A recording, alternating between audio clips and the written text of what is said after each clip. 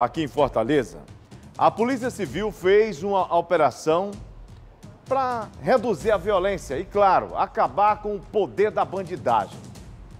Tanto que criminosos foram presos e barreiras foram destruídas, né? Para você ter uma ideia, a audácia desses bandidos, eles construíram, gente, lombadas para dificultar, inclusive, a entrada dos policiais militares por lá. Vamos ver aqui os detalhes. Quando a Flávia, dá imagem. A Polícia Militar do Ceará tem combatido o crime em Fortaleza em todos os bairros. Dessa vez, nós estamos aqui no bairro Curió, onde a Polícia Militar está desde o dia 8 de setembro em uma ação de prevenção ao crime, combate ao crime aqui dentro da comunidade. Eu converso aqui agora com o Tenente Coronel Roberto, da Polícia Militar, que vai falar para a gente um pouco como essa ação está acontecendo e quais são as estratégias, Coronel, adotadas por vocês durante todos esses dias aí de operação, uma operação inclusive que ainda vai se estender por mais um tempo, né? Exatamente, uma operação, nós denominamos Operação Ocupação São Miguel, é uma ocupação nessa área de conflito aqui na nossa área da, da Grande Messejana, a IS-3, e essa ocupação nós tentamos fazer um plano para que fosse ocupado as 24 horas do dia, e assim está sendo feito. E a gente busca o quê? Sufocar o crime, e é um trabalho que a gente não para, né? A gente tentar pacificar essa região, o mais rápido possível. Vocês, inclusive, criaram uma outra operação, a retirada de lombadas, de barreiras construídas pelo próprio crime. Exatamente, né? No dia a dia aqui, andando nas comunidades, a gente tem visto, né? Muitas situações que o crime tenta dificultar o nosso trabalho. E a gente avistou, detectamos vários, vários pontos em que o crime ele implantou essas lombadas. Né? Essa lombada devido ao acesso é justamente quando a guarnição chega no terreno, é, nós usamos uma, uma linguagem chamada de pinote, né? eles fogem e eles dificultam ao máximo o nosso acesso, justamente com lombadas, com barricadas, pedaços de tronco. E hoje, em parceria com a prefeitura, nós conseguimos um equipamento e estamos retirando a essa altura, já estamos com quase três dúzias de lombadas que foram retiradas só nessa região, que vai facilitar o nosso trabalho e dificultar mais ainda a ação do crime. É isso a nossa intenção. Aqui é uma, é uma localidade repleta de cidadãos de bem, pessoas trabalhadoras, pessoas idôneas, pessoas de, de, de grande caráter é, são apenas aterrorizados por alguns, alguns marginais. A gente está tentando colocar a mão nesses, nesses vagabundos aí. Esse, esse mês já tiramos uns 8, 10 de circulação aqui na, no, no, conjunto Santa Clara.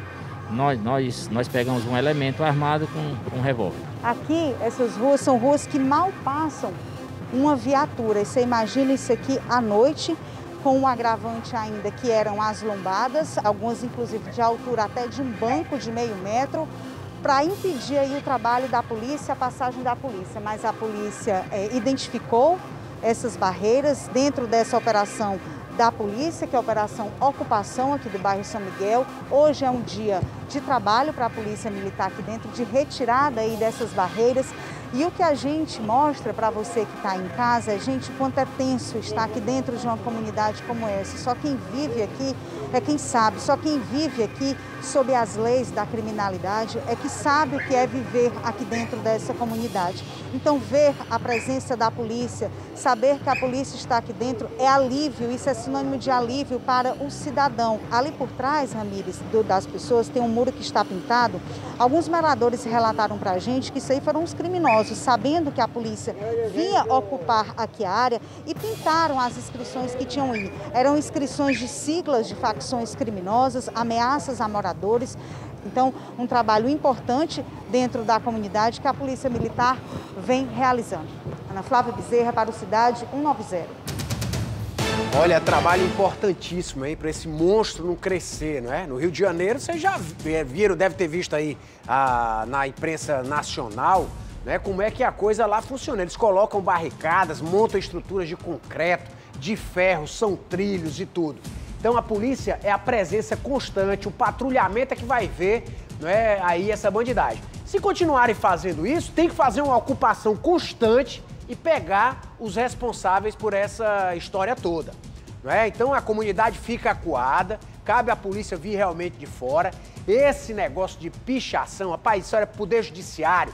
Pegar, quando pegar esses, esses bandidos aí que for dar pena alternativa, de tornozeleira, é pro juiz colocar lá, ó, vai ter que passar aí um mês rodando na viatura da polícia pintando esses nomes de facção que são espalhados por aí.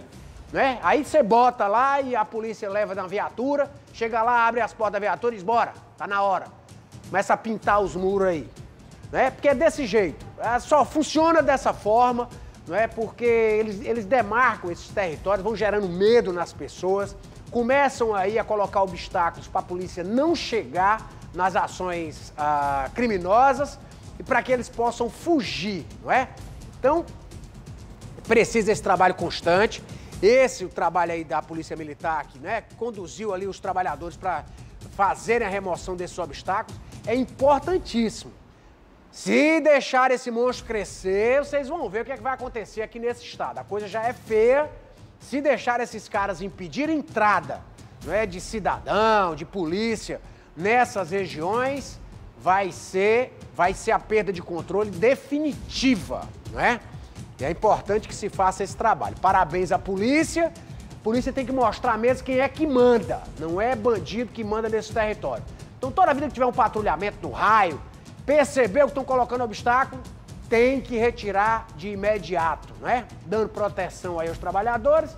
Traz o trabalhador de fora, ele faz esse trabalho aí e pronto. E aí, pra cima da bandidagem. Parabéns à polícia. Olha, gente, forças de segurança